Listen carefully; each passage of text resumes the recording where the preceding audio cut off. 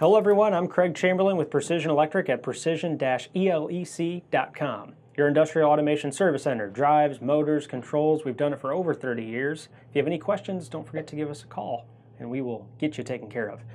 Today's video we're going to cover looking at actual signals from your variable frequency drive on the ACS 355 series. The actual signals are valuable when you're trying to troubleshoot any possible issue you may be having, whether it's with your motor maybe pulling too much current, your drive not having enough input voltage, or perhaps it's just outputting too much voltage. Who knows? It could be a huge number of situations. The great thing about this drive with the advanced keypad in this instance, or the basic keypad, is it does make looking at those values extremely easy. So let's go ahead and check it out. As always, uh, if you follow along in the manual, you can look under actual signals. Uh, in my manual, it's page 183, but essentially it's parameter group 01, operating data. And that will actually give you a nice list of all the signals we're going to be looking at.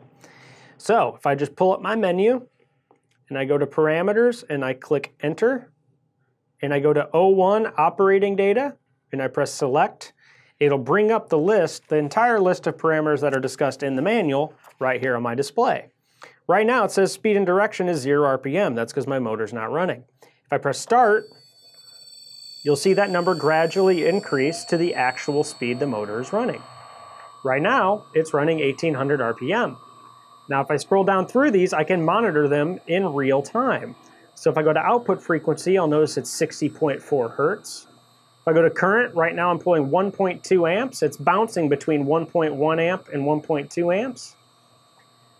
My torque is at 16.7% of the rated motor or the rated drive.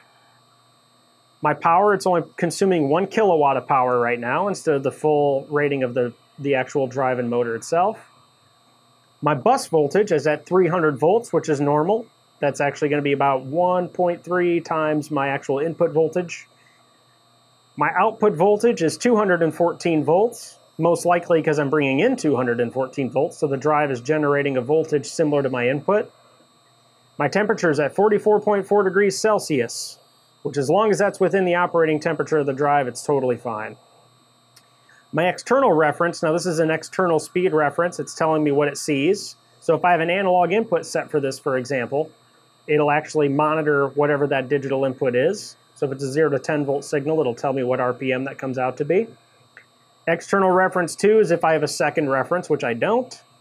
And right now, control location, it tells me I'm in local control, which I can actually toggle between local and remote using this push button here. Runtime, this tells you how long the drive's been running without actually stopping or shutting down kilowatt per hour counter. You can actually monitor uh, your kilowatt per hour usage. This will help you decide how much energy savings you're actually generating. Here's my analog input signal. Actually, if I rotate my analog input, you'll actually see it go up and down, which right now it is. But as I turn my speed pot, the percentage is actually going up and down for my analog input. So this is a great way to actually monitor any analog signal you might be sending to the drive to make sure the drive is seeing it appropriately. Same thing with analog input 2. Analog output, if you have the drive program for a specific output, that'll let you actually see what that output currently is set at. This one is actually currently outputting 20 milliamps, which is the at speed. So right now I'm at full speed. This is a PID output. That only applies if you have a PID loop set up. Same for all these PID outputs. Right now we don't have an actual PID loop set up. That's for like pump and motor control or pressure control. Uh, these are communications words. These communications words are part of setting up any kind of communications module for sending commands. And we can basically spend all day going through these because there's a lot of them. At this point, I've covered the most important ones, which are on the first couple pages of the manual. What I would encourage you to do is actually pull out your manual and go through them yourself and see what the current state of your drive is at. And again, if you're experiencing any kind of trouble, you can just go to whatever variable is giving you issues. A real popular one is if I go up here to my current draw, because a lot of people are like, ah, why am I pulling high current? Well, what you can do is you can actually monitor your current as it runs, and then you can start to see maybe what circumstances your machine pulls high current under. You know, did it get jammed up? Was there too high of a load at a certain time? And you can actually monitor it in real time. Or what you could do is you could actually monitor this current and pull out an amp meter and clip it to your leads and make sure that this current is properly representing actual current. Maybe there's something, some issue with the current sensing circuit in the drive. That's just one example of what you could do, but this is the full input monitoring or output and input monitoring section for the ACS 355 variable frequency drive. So we've worked with these drives for a good amount of time now, and there's virtually nothing you can't monitor when it comes to troubleshooting. Uh, we've been doing since we've been doing it for so long. If you have any issues with your 355, naturally we include support with any drive you purchase off of us at our website.